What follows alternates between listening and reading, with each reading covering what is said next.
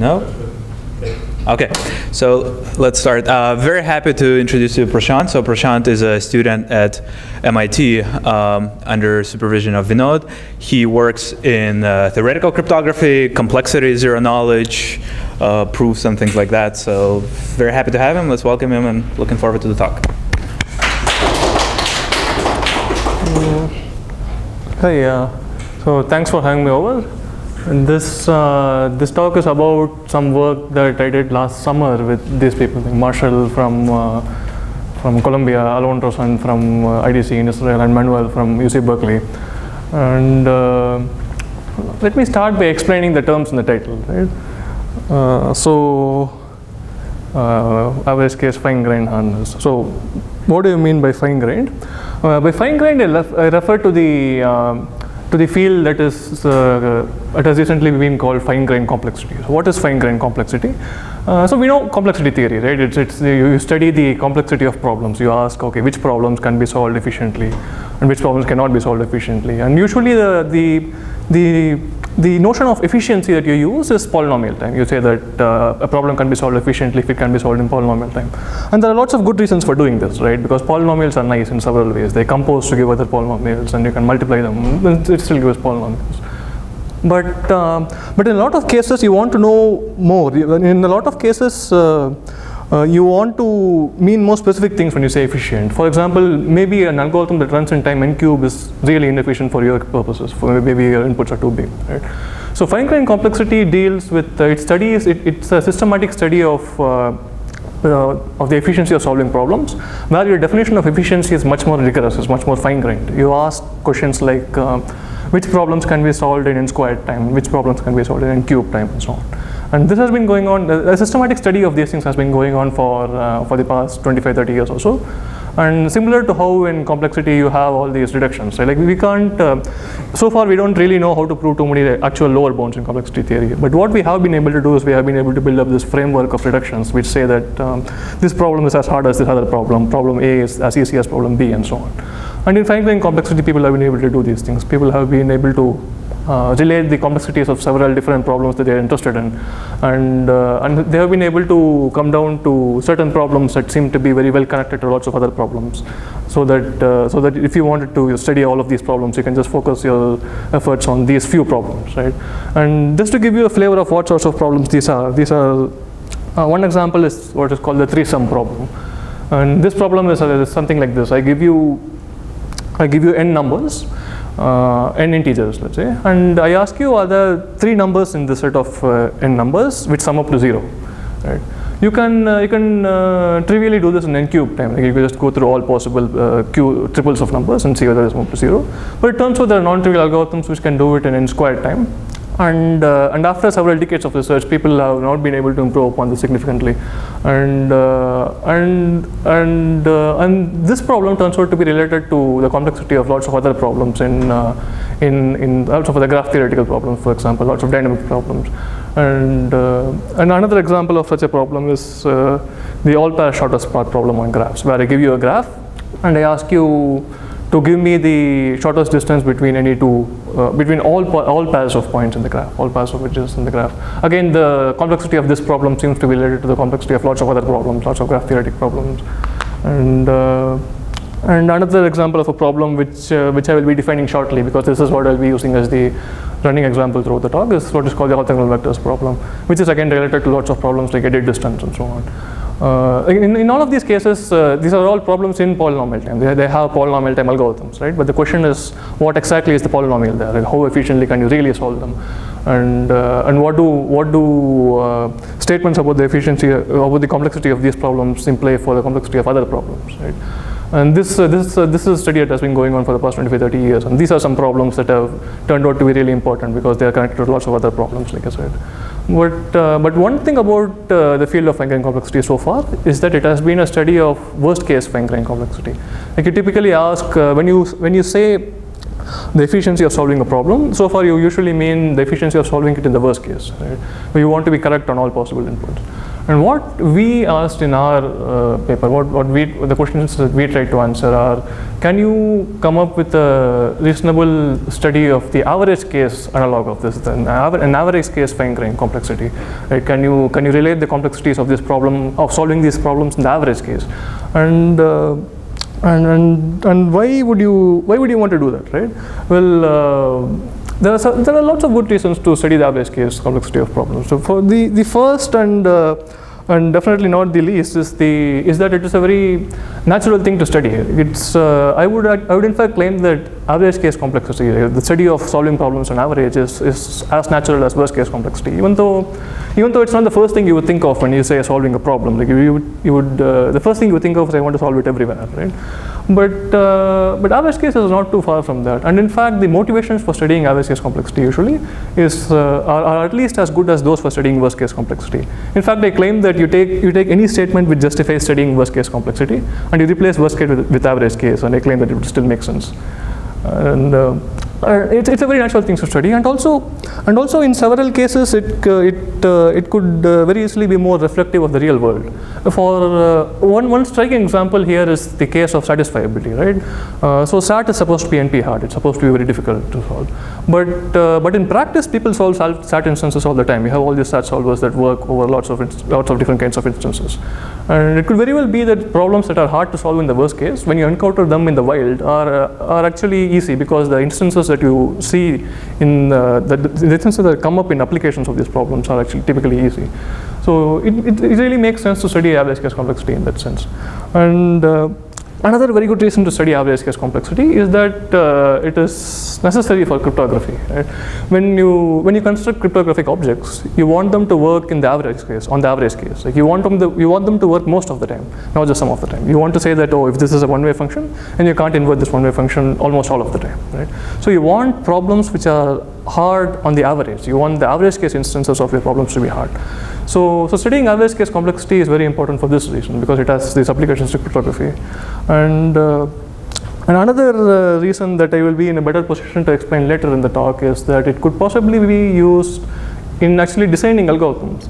Like I know, I know at least one very nice example where it is easier for to design algorithms for a certain problem in the average case, and then you can do something else to translate it to the worst case. You can you can uh, you can do what is called uh, a worst case to average case reduction, which is what this the rest of this talk is actually going to be about, where you say. Uh, I will take uh, problem A and problem B and I will reduce solving problem A in the worst case to solving problem B in the average case over some distribution of instances, right? And uh, I, I, know at least one good example where it's, it's, it turns out to be easier to solve a certain problem in the average case and then reduce this other problem, uh, solving this other problem in the worst case to this problem in the average case. And, uh, and these kinds of uh, worst case to average case reductions are, are quite important uh, for, for the reason that we do not actually know that much about average case complexity. Like we know a lot more about worst case complexity than we know about average case complexity.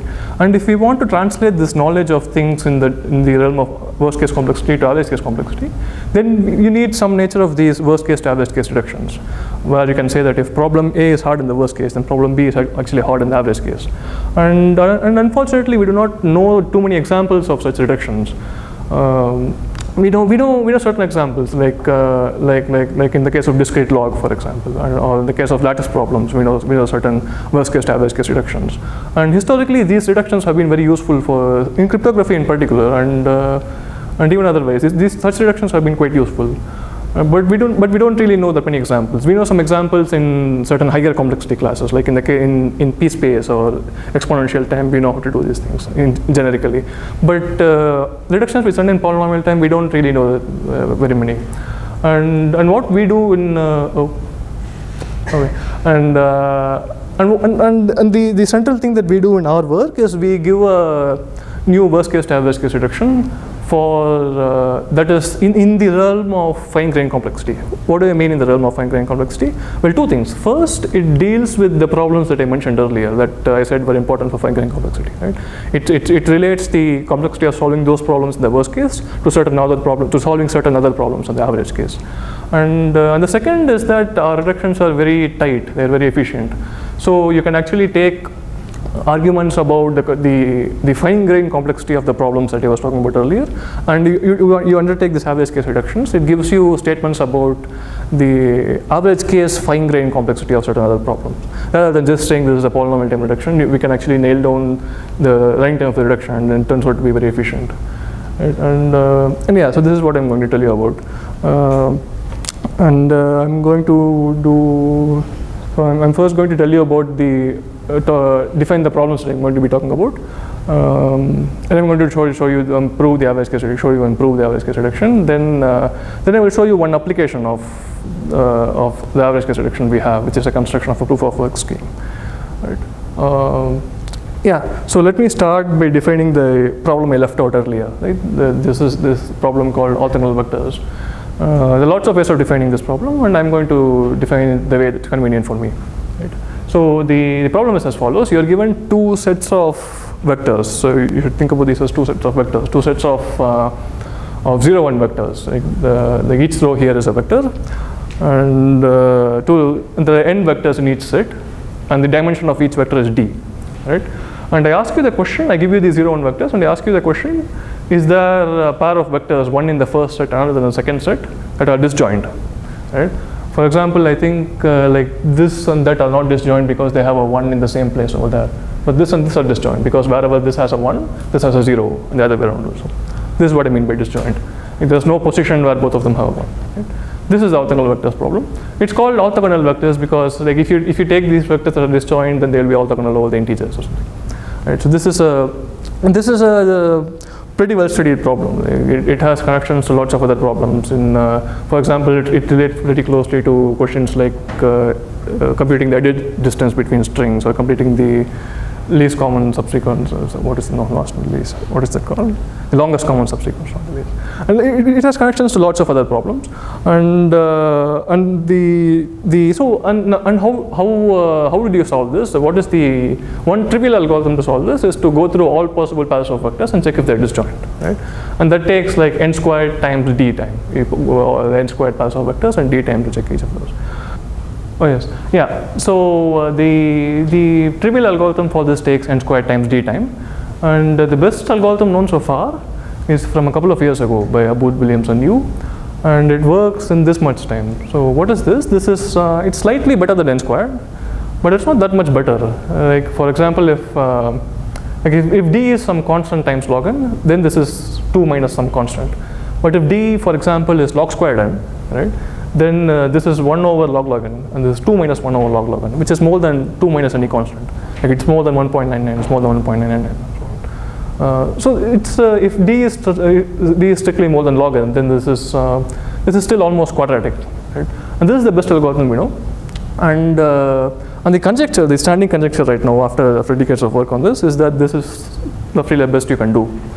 That that if your d is a lot more than log n, then it actually takes n to the 2 minus little of one time.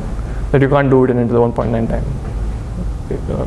And, uh, and this conjecture, it turns out, is implied by uh, what is called the, the strong exponential time hypothesis. Uh, the strong exponential time hypothesis is this is this um, is this hypothesis about the, this conjecture about the complexity of the satisfied formula on n instance on, on n variables. Then it actually takes two to the n time to solve 2 to the n times to decide whether it's satisfiable. Not as opposed to taking like 2 to the n over 2 time or 2 to the 3 n over 4 time. It says it takes 2 to the n time, right? And uh, uh, and it turns out that this conjecture is implied by the strong exponential time hypothesis. And people believe this conjecture is, uh, I believe, a lot more than the strong exponential time hypothesis, upon which opinion is slightly divided in the community. Um, but yeah, so this uh, th that's about this problem, right? The orthogonal vectors problem, and uh, and this is the problem that we are going to. Okay, so this is the problem I'm going to talk about for the rest of the talk. But whatever I'm going to say applies to the other problems I mentioned as well, like the three sum and all pair shortest path. Like what I'm going to say applies to that. But it's simplest to discuss this problem, so I'm discussing this problem. And uh, yeah, so this is the problem that we will be reducing from. So we will be showing that uh, solving this problem in the worst case reduces to solving another problem in the average case. And what is this problem that in the average case that we'll be dealing with? Uh, oh yeah, so we'll also be, uh, for simplicity, we'll be taking setting the dimension to be log squared n. Uh, so it applies for a huge range of parameters. Let's say it's log squared n. And it, uh, right. And yeah, what is this average case problem? It's, it is going to be the problem of evaluating a certain polynomial right? Uh, and uh, we are going to construct this polynomial and uh, along the way you'll see why it makes sense, right? So I'm going to define this polynomial f, I'm going to call it f throughout. And it's defined on these, uh, on the same set of variables, like, like the n times t variables here, n times t variables there, just like an instance of the orthogonal vectors problem. And uh, and we start by considering the following expression, right? So you take any row here, any row here, and consider this expression. What is this expression? Well, the, the property this has that I'm interested in is that uh, if these two rows happen to be disjoint, then this expression is 1. Why? Because the fact that it's disjoint means that all of these small products are 0, which means all of these things are 1, so the whole thing is 1. Whereas if it is not disjoint, then there is one coordinate where it's both 1, right? So this both of these will be 1, and this whole thing, this will become 0, so the whole thing will become 0. So if I if I if I take the evaluation of this expression uh, where I put uh, a zero one vector here and a zero one vector there, it will tell me exactly whether it- is uh, disjoint or not. Right? And the polynomial I'm going to take over inputs over these uh, variables as inputs is uh, the sum of this expression over all possible rows here and all possible rows here. And what does this mean? This means that if I if I take my input to be uh, zeros and ones, like all of these, if I set all these variables to be zeros and ones, then this will actually tell me the number of pairs of disjoint vectors in this instance. Right? That is the significance of this thing. And uh, so so immediately, if you can if you can compute this polynomial, if you can evaluate this polynomial on any given input, then you can decide the orthogonal vectors problem immediately. You just evaluate this, and it tells you how many pairs of orthogonal vectors are there, and that's that's what you need to know. That's that's more than you needed to know, right? And uh, and and uh, so this is the polynomial I'm going to consider, and I'm going to consider this over a certain finite field. The reason will be clear soon. Uh, I'm going to take a field of characteristic more than n squared. Uh, I'm going to take a, uh, to make it simple, I'm going to take a prime p which is more than n squared and I'm going to define this polynomial over fp. It's the same polynomial but I'm just going to consider it over fp.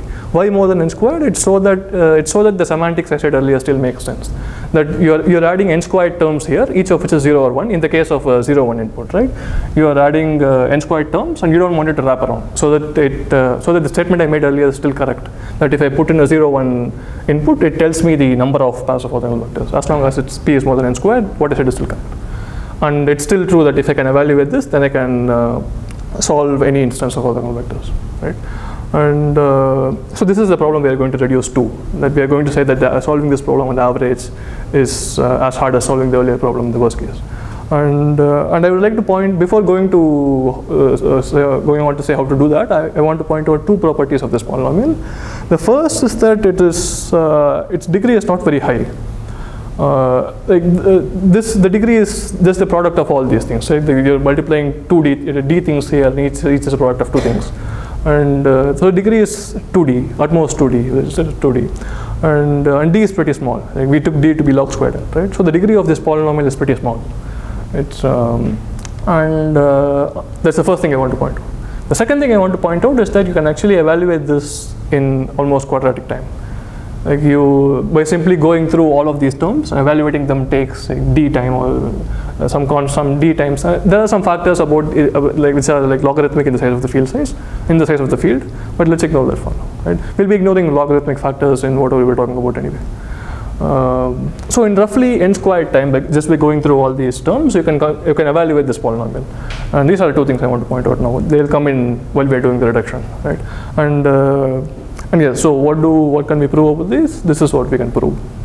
That uh, that if you have an algorithm that runs in time n to the 1 plus alpha for some alpha greater than 0, and on a random input x computes uh, f correctly, even with a relatively small probability. Like it, uh, the uh, this is uh, what is what is one over n to the little of one. It's it's some quantity which is uh, smaller than any one over polylog, and, and larger than any one over polynomial. Right? It's, it's still pretty small. So note that you can actually uh, guess uh, f correctly with probability 1 over p, which is going to be like 1 over n squared, by just guessing at random, because those are the, all the possibilities you have. Uh, what this is saying is that if you have an algorithm which does somewhat better than that, uh, then you can use that algorithm uh, to get an- to get another algorithm which runs in almost the same amount of time and which decides the orthogonal vectors problem, which solves the orthogonal vectors problem in the worst case, right? And uh, And the corollary of this is that uh, if the earlier conjecture I mentioned is true, is that if orthogonal vectors actually takes almost quadratic time, then uh, evaluating f takes almost quadratic time on the average case on, on uniformly random inputs. I, I give you a random input and you have to evaluate it, and uh, subquadratic algorithms are going to be bad at this. Um, right. So this is the this, this is what we are going to prove. And uh, any questions so far? Okay. So yeah. So let me show you the reduction then. Uh, so I'm going to show you, and uh, so and yeah. Okay. So uh, the, I'm going to show you how to prove the theorem that I just stated and it uses certain ideas from uh, from the literature on showing similar reductions for the for the permanent problem. Like there has been this uh, line of work on showing uh, worst case to average case reductions for the permanent, and uh, certain techniques were developed for this, and and have also found use elsewhere, and uh, and these techniques we are going to use over here. Uh, these are also related to techniques and related to lots of things in, in coding theory, like list local list local decoding of code, local decoding of the Reed-Muller code, and everything right? And, uh, and so, so, so yeah. So, so you have this function f, uh, which is this polynomial f of degree 2d. And in fact, uh, for the first part of the reduction, at least, the only fact we are going to use about this f is that it's a low degree polynomial over a large enough field, right? And uh, you have an uh, algorithm A which works. Uh, so let's start by proving a weaker version of a theorem, right? So I said I said that any algorithm A which succeeds with probability one over into little of one I can use in my reduction. But we are going to start with something weaker. We are going to say take any algorithm A which is quite good at computing f on the average. It can compute it with uh, probably 0.9 on the average. On on 90% of the inputs, it's correct. Right? Take any algorithm like this, which runs in so much time, and we are going to construct an algorithm B, which will work on all inputs with certain probability. This is what we're going to do. And this uh, and like I said earlier, if you can compute f on all inputs, then you can decide orthogonal vectors by simply by evaluating it on the instance you have. So this would prove, if you can show this, then this would prove a weaker version of the theorem, so up to, up to this being smaller, right? And how are we going to do this? Let me describe how B works, right? So what is so what does B get? B gets as input uh, an X. So let this be the space of FP to the 2ND, right? This is the space of all your inputs. B gets an input X over here right? And uh, there is, uh, and uh, B has access to A, which claims to be correct on 90% of the instances. It is wrong on certain certain part of the instances, and uh, but B does not know where this lies. Right? This the, there's a certain set of instances where A is wrong, but B doesn't know what these instances are, and B has to work regardless. Uh, what B does is uh, it it takes its input, and it takes a, a random line through its input in the space. Right? It, uh, how does it do that? Well, it, it, picks a random y in the space and it considers the line x plus y times t. This is a random line in the space that passes through x. Right? And then it looks at the restriction of the polynomial f to this line. What do I mean by that? I mean this univariate polynomial, g of t, which is you take x plus y times t and evaluate f at that point. So this is a univariate polynomial, right? With, the, with these two properties, that, uh, that if you evaluate it at zero, you get the answer you want if you evaluate it correctly at zero, then you get the answer you want. And its, its degree is the same as that of D, that of, that of F, it's 2D. Uh, because uh, you, can, you can think of that as like you, you consider every monomial in F and, and, think of what happens if you replace it with uh, like xi plus yi times t. You, you get that it's the like the, the degree of this univariate polynomial is the same as the degree of this polynomial, right? So it can it takes this uh, the, the restriction of f to this line, and uh, and, it, and, the, and, it's going to take several points on this line. Uh, how many points? It's going to take uh, some constant times d. Uh, I, I, believe that for this setting of parameters, c can be something like 5 or some 5 or 10 or something, and this will work. So what it does, it takes all these points on this line, and it, uh, it evaluates a at those points, right? And, and it's going to hope that, uh, that a is correct on most of these points. So what guarantee does A give you? A says if you give me a completely random point from the space, I will be correct with probability 0.9, right? Uh, but B is not giving it completely random points, right? These are correlated points. So you don't have the same guarantee. But uh, one property you still have is that each of these points by itself, if you, by, if you look at it by itself, it's a completely random point. Right? And uh, so this says that, uh, that over all possible lines, all possible lines through x, the expected fraction of points on that line on which A is correct is uh, at least 0.9. Uh, to put it differently, the expected number of uh, the expected fraction of points uh, on, uh, over all the lines on which A is wrong is at most 0.1. Right? So uh, the next, then a simple Markov bound will tell you that uh, the probability that if you take a random line, A is wrong on more than a 0.3 fraction of these points is at most one third, like 0.1 by 0.3, about one third, right? Uh, so if I take a random line and run uh, uh, run A on all these, uh, I take these five times D points and run A, A on all of these, uh, with probability at least two thirds, 70% of these evaluations are going to be correct. So I'm going to I'm going to use A to compute all of these, and 70% of these evaluations would be correct. Right? And uh, and once I have this uh, guarantee that 70% of my evaluations are correct, I can uh, error correct the these evaluations to get the value of f of x. What do I mean by this? Uh, uh, so th- uh, this this this object right where I take a univariate polynomial and evaluate it over different points in the field is just a Reed Solomon code like where, where the the G is the message of the code and uh, this, this set of evaluations is the code word and uh, and by choosing my C to be large enough I can guarantee that I can correct uh, from a, a 30% fraction of errors using using like the for example the Berlekamp algorithm. It tells you that uh, as long as the, the number of errors, the fraction of errors you have is not more than some constant. Like you can you can adjust your C. That's why the, that's how you decide what your C has to be, uh, depending on what fraction of errors you want to tolerate. And if you set C to be something like five, it will tell you that if if I if I take these noisy evaluations and I have the guarantee that 70% of these are correct, then running the Berlekamp algorithm will actually give you all the coefficients of G. Uh, it will run in uh, time that is uh, some polynomial in the degree, which is quite, quite small, and it will give you the coefficients of the polynomial d, and then you, you can evaluate it yourself at, at zero and find the value of f of x. Right? And uh, yeah, this is what I said earlier. That the probability there are too many of uh, the there are too many of the points on the line on which a is wrong is, is small. So with uh, so with probability at least two thirds, you will you will correctly compute the value of f of x. And this is true for any x, right? And this is how B works. So B takes this random line and it evaluates A on this line, and an er- error corrects from this, right? And um, so this gets you 0.9. Uh, how are we going to improve this? Uh, so one thing you can do to so one thing you can do is you can instead of taking a random line through x, you can think of taking a random higher degree curve. Like you can take a random quadratic curve through x. You can take x plus yt plus zt squared, and uh, and that will let you get better guarantees on the noise on the on the fraction on which a is correct. Like the behavior will become closer to what a does at random. So you will be able to say something like. Uh, uh, even if uh, even if the probability that A is correct is slightly more than a half, is some half plus delta for some constant delta, you will be able to carry out the reduction. Uh, because you will be able to argue that on this higher degree curve, uh, A behaves very similar to how it behaves on random points. Uh, but this sort of an approach is not going to get you much better than half. For the reason that uh, this error correcting step, right? You are doing this, you're saying I have this noisy code word and I'm going to decode it.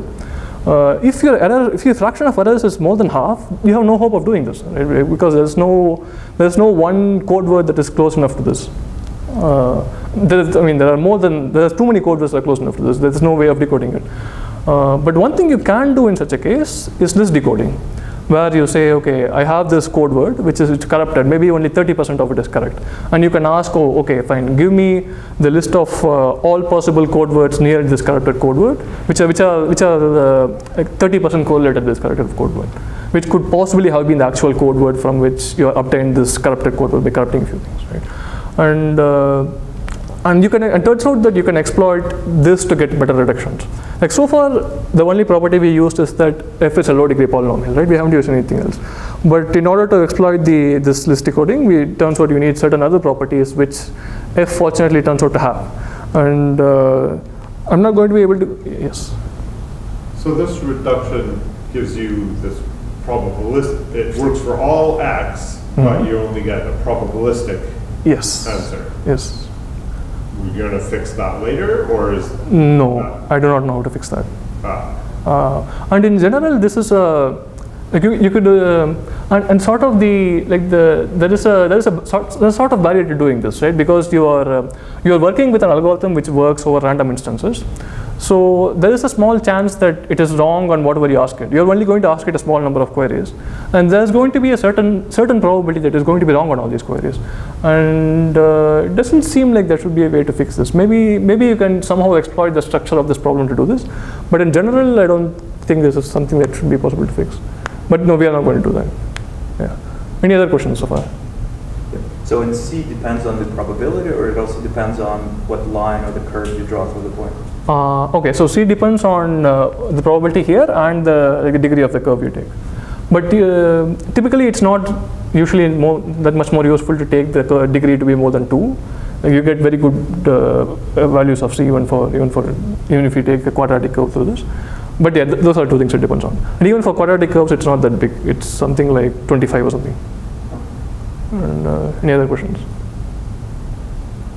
Okay.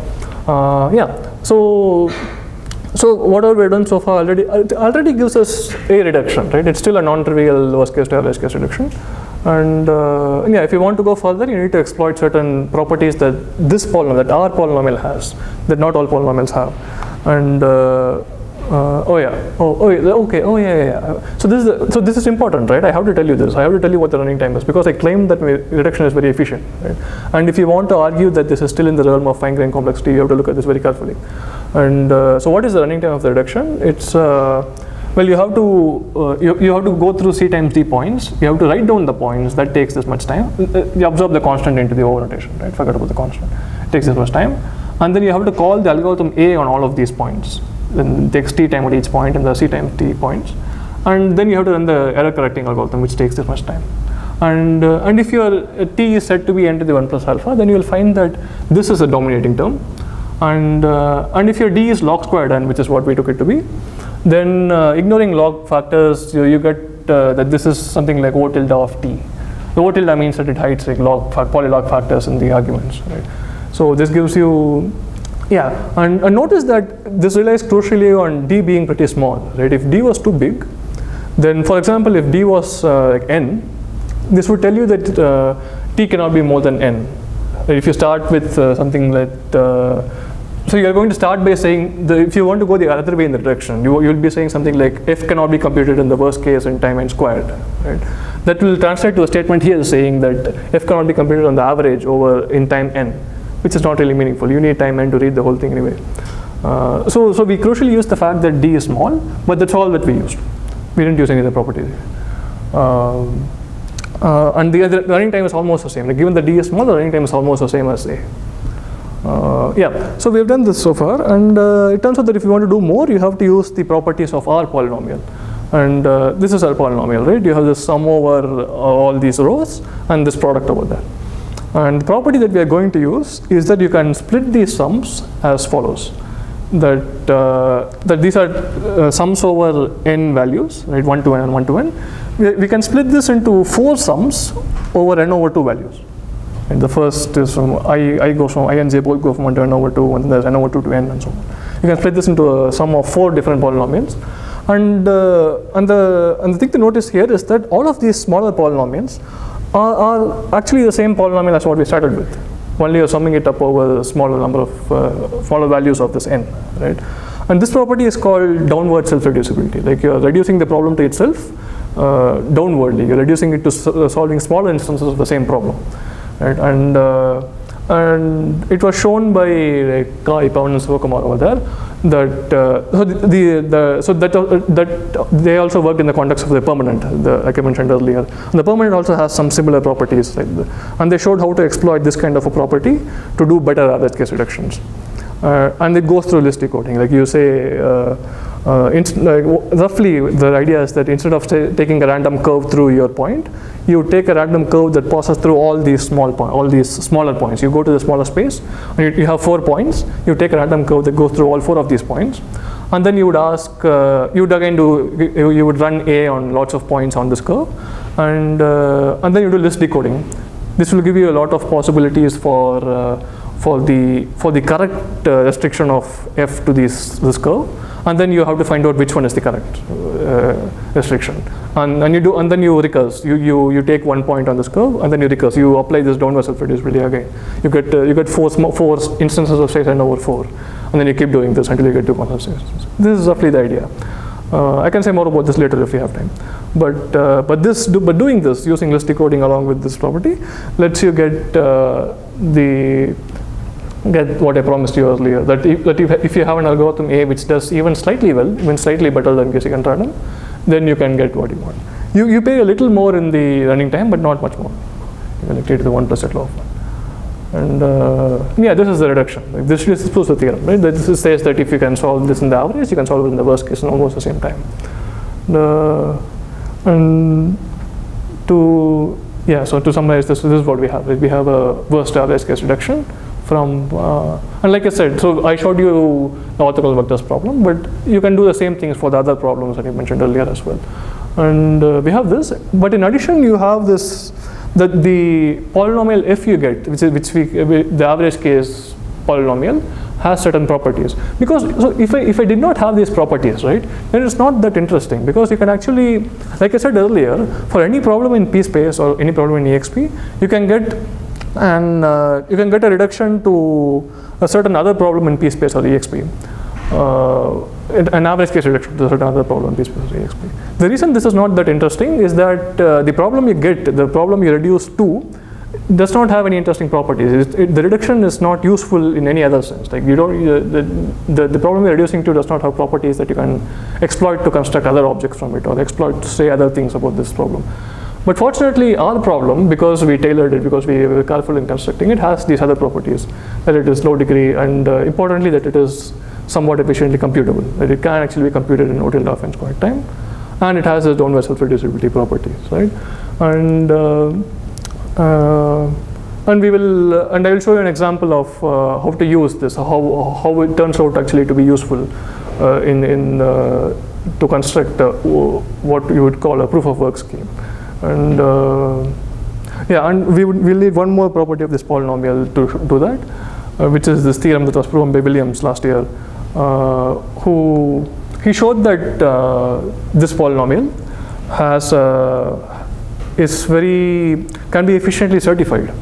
That if, if I take this polynomial f and I want to prove to you that f of x equal to y, you give me x, I come up with a y and I want to prove to you that f of x is equal to y, I can do this somewhat efficiently. That I can run in time like n squared, which is also this time it takes to compute f of x itself. Right? I can run in this much time and I can come up with a proof and I can come, up with a certificate that I'll give to you and you will be able to verify the, this is this certificate that f of x is in fact equal to the y that I gave you in almost linear time. Right? And uh, we are going to use this certifiability property of this polynomial to uh, to do to do what I'm going to show you next. So you don't mean negligible soundness. Uh, I mean soundness error. Uh, yes, uh, yeah, negligible soundness error. Not negligible soundness would be a little more disastrous. Yeah, it's not not. So for the other problems, you also construct different polynomials and you do the same technique? Yes, yes, yes. You can do all this. So you can take uh, Ryan's techniques, what he does, and you can and, and, you take the polynomial that you get by doing what we did over here. So. Uh, so what we did was we wrote down this polynomial which actually evaluates to the answer for the orthogonal vectors problem in certain instances, right? You you can you do this for the three sum and APSP problems as well. It turns out you can do this, uh, which is which is which is actually uh, fortunate because it, it's not it's not clear that it, it, this has to be satisfied. It's not clear that you that there has to be a polynomial of this small degree which uh, which works which works through a reduction for any of these problems. But this happens to be the case, and, uh, and yeah, you do that, and then this theorem would would uh, cover those as well. It would also give you. Uh, uh, a similar statement saying that you can certify evaluations of these polynomials such that you can verify the certificates faster than it takes to faster than evaluating the whole polynomial itself. Uh, yeah, any other questions? Okay. Uh, so yeah, so so like I said, right, the the the polynomial that we have, our f has all these properties, and uh, and this is what makes these reductions interesting, right? Otherwise, it wouldn't be as interesting. But and here's an example of an application of this reduction, right? So we are going to construct. A, so I'm going to show you a protocol. I'm not going to define the proof of work scheme right now. I'm going to show you a protocol, and then we'll see what it does, right? So you have the prover and the verifier. The verifier picks a random input from the space that we discussed earlier. It sends it over to the prover. The prover is supposed to evaluate f on this input to come up with a z and also come up with the proof that uh, f of x is equal to z. And then the verifier will uh, verify this and will accept if the proof verifies. Right? Uh, so what, how, uh, what are the efficiencies of the prover and the verifier? Well, by what we discussed earlier, the, so the verifier, just, this is a trivial task, and this we just said that it takes linear time, right? We are going to use the protocol from the previous theorem, it says it takes linear time. And the theorem also says that the prover's task is also, only, also only takes uh, n squared time, can, com can compute this proof pi in n squared time, right? And, uh, and, for, and, and, the, and the, uh, one other property that this has is that if the prover actually runs in less than n squared time, then it can't even compute the z correctly, right? Because that's what we, uh, assuming, okay, assuming that orthogonal vectors takes n squared time, uh, the prover cannot even compute z correctly on this random input because that is what we proved. If orthogonal vectors takes n squared time, then evaluating this polynomial on average takes n squared time, right?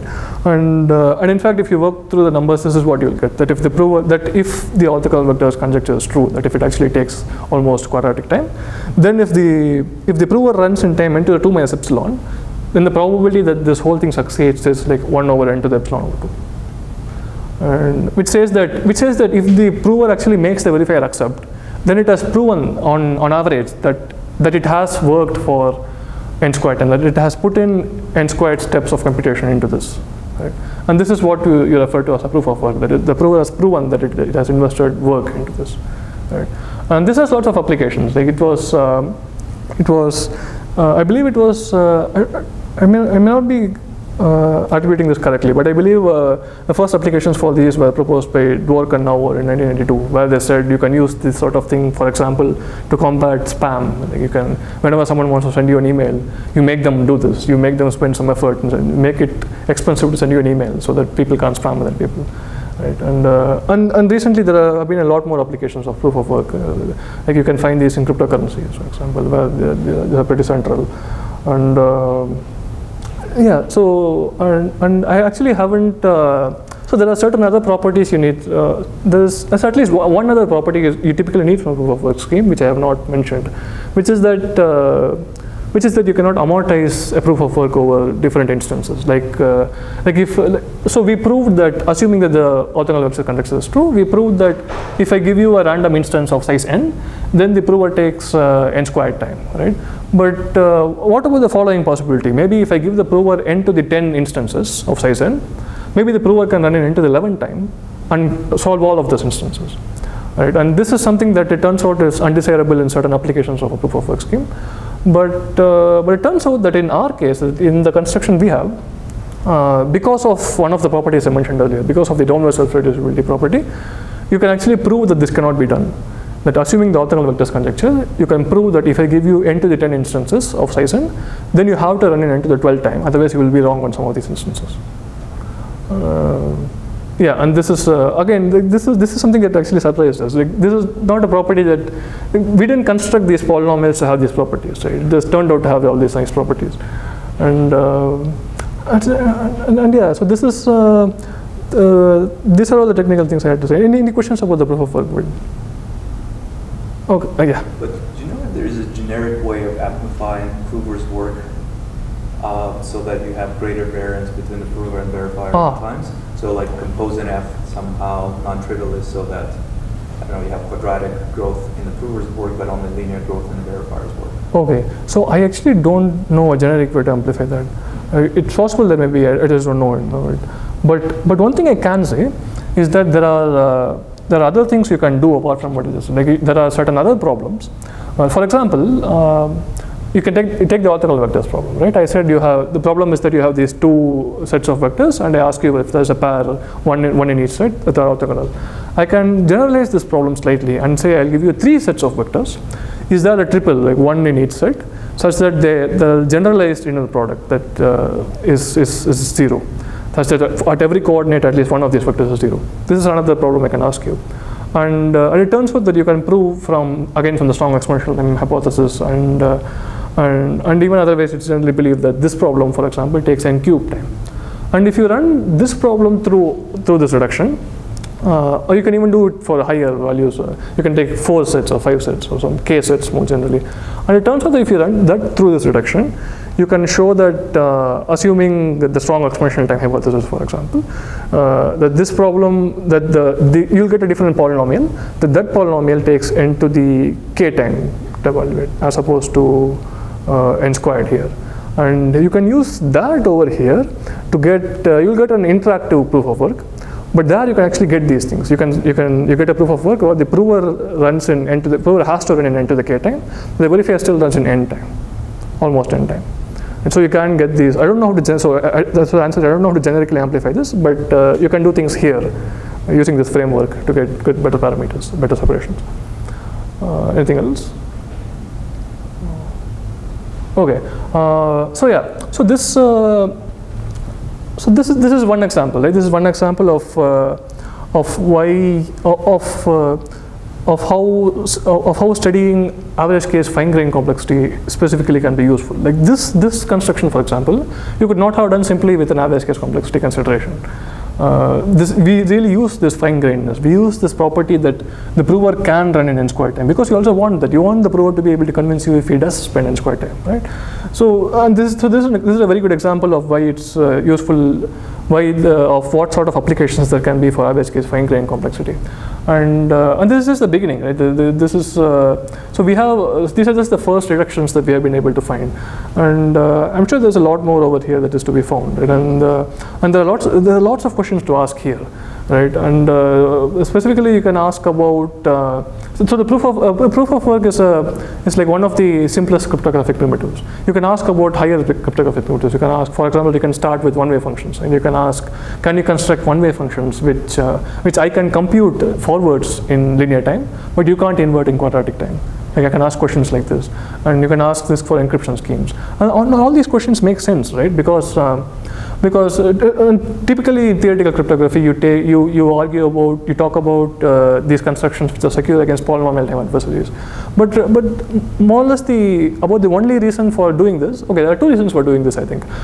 The first is what i said earlier for complexity right? That uh, that polynomials are a very good model of efficiency for theoretical study because they compose well and everything and you can multiply polynomials and the second is composability like if, if you can if you, if you compose two one-way functions you want to say it's still hard and things like that uh, so these are the reasons that uh, typically in cryptography we study the, our adversarial model is polynomial time algorithms.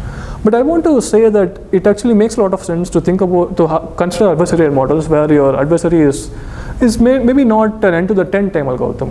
Maybe you don't care that someone who runs in time n to the 10 can break your scheme because it's too big anyway. Maybe all you care about is that someone who runs in less than n cube is not able to break it. Maybe that's good enough for you. Because because n is big enough and n cube itself is really huge and this is good enough. Right? And, uh, and, and, and moving to considerations like moving to primitives like this would enable you to start from weaker assumptions. Right?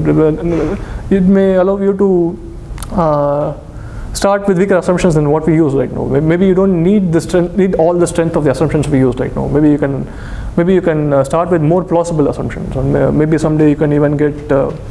Maybe someday you won't even need assumptions, maybe sooner than this. For example, this sort of notion makes sense even if P is equal to NP. Right? Even if P is equal to NP, you can ask these questions. Uh, the, there will still be algorithm, there will still be problems that you cannot solve in time and cube, and you can ask, uh, uh, can we do these things? Can we, can we have meaningful cryptographic primitives? And, and this is the first step towards all of this. You, you, start, you ask, uh, are there average case hard problems for, for these polynomial time algorithms? And, uh, and, and uh, yeah, so, the, the, so, the, so, there's a lot of there are a lot of things to do here, and and, uh, and, and, are, and, even outside cryptography, there are lots of questions to be asked in this domain, right? And uh, and perhaps the most important of these is to ask about the original problems themselves. Like you are, what what we did here, we started with all these problems that are important for fine grained complexity, and we reduced to certain other problems. And these other problems are useful because uh, to us are useful because they they give us all these things. They give us source of work, for example. But uh, but it would be a lot more interesting if uh, if you can actually argue something about the average complexity of the problems that you started with themselves, because these these have repercussions for certain other problems, right? So that so this is one very big question over here. Can you come up with meaningful uh, distributions over over these problems which are themselves hard, assuming the worst case hardness of these things, and uh, and this is what I was talking about earlier, like fine grained cryptography. Uh, ask about one-way functions or encryption schemes which are secure against certain polynomial time adversaries. Uh, and uh, ah, okay. And this uh, this is the other thing that I mentioned in the beginning. The, as I said, I've been in a better position to talk about later, right? Uh, in algorithm design, for example, for example, suppose you wanted to design an algorithm for orthogonal vectors problem. Because of this reduction, uh, it is sufficient to design an algorithm for the polynomial that comes out that works on average. You don't have to even work on all, all the inputs. As long as it works on average, you can go back in the reduction and get a worst case algorithm for orthogonal vectors. Right? And uh, I have not seen this too often. I have not seen this paradigm of designing algorithms too often, but I know some very good examples, very nice examples that I can tell you about later if you want me to. Uh, so this is a possibility. This, this is one reason why this why it could be useful to study these reductions for problems which are already solvable in polynomial time. And uh, and yes, and the last thing is whether you can take the reductions that I've shown you and make them better in terms of the parameters. Uh, like, like for example, right now I said that uh, as long as the average case algorithm works with the probability 1 over into little of 1, you can do this reduction. But what about, what if it works with probability 1 over square root of n? Then the reduction doesn't work. But, uh, but can you actually do, that? can you come up with a better reduction that works? That's, that's another question. And, uh, yeah, so this, this, this is all I had to say. Any, any questions?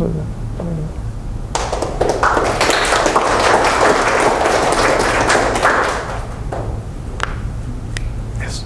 Um, Actually, I noticed you- you you cited Merkle's paper from 78 there. Yeah. Um, And I think it's it's probably worth pointing out that his original proposals for having, doing something like public key cryptography were actually proposed to take advantage of the difference between quadratic and linear. He didn't- Yes. originally look at exponential versus polynomial. He was looking at, at- gave an example of something one might use, and that was quadratic versus linear. Yeah. So that's, that's, that's actually the original idea. Yes, yes, yes, yes. Thanks for mentioning that. Yeah. So, so this is sort of where cryptography sort of started out, right? In the beginning, people were asking these questions: like, can you construct things which can which you can compute in, in time n, but you can't break in time n squared? So people were asking these questions. Uh, it's only later that uh, cryptography moved to the more complexity theoretic. Uh, it adopted the idioms of complexity theory and said, let's move. Okay, we can we have the statements in complexity theory about uh, polynomial time algorithms. Let's see whether they use this, right? But yeah, so this sort of question has been asked from right from the beginning, and uh, and there has been work in different dimensions. In fact, like Merkle's paper, like you mentioned, there's a linear versus quadratic running time, and uh, uh, he actually gives an example, like in the presence of a random oracle, he gives an example of a of a key agreement protocol where the honest parties run in time n, and he proves that it's hard for any adversary running in time less than n squared to break this. And, uh, and these other works, right? So these are actually they, they work in other dimensions of fine-grainedness. Like so far, we we talked about running time, right? We have said uh, uh, uh, the honest party is running this much time, the adversary running that much time, and so on. But you can also consider the other notions of complexity. Hastad, for example, uh, considers circuit depth as a measure of complexity, and he shows that uh, there are functions that you can compute in NC0 in constant depth that you can't invert even in even use even in AC0, which is a constant with unbounded fan-in. And uh, and and, uh, and BGA is an improve. They they improve the assumptions for what Merkle did, and DVV again is about circuit depth. They have, give other constructions for circuit depth. And, uh, yeah, so there are also these other dimensions, and, uh, and this question, this sort of like you said, this sort of question has been asked right from the beginning, but uh, but now we have the machinery to be able to attempt these attempt to answer these questions from a complexity theoretic point of view, because we have this fine-grained complexity that has been going on for a while, and we have a certain set of beliefs that we, we have we know things there. Uh, yeah, any other questions? Okay, thanks, Dan.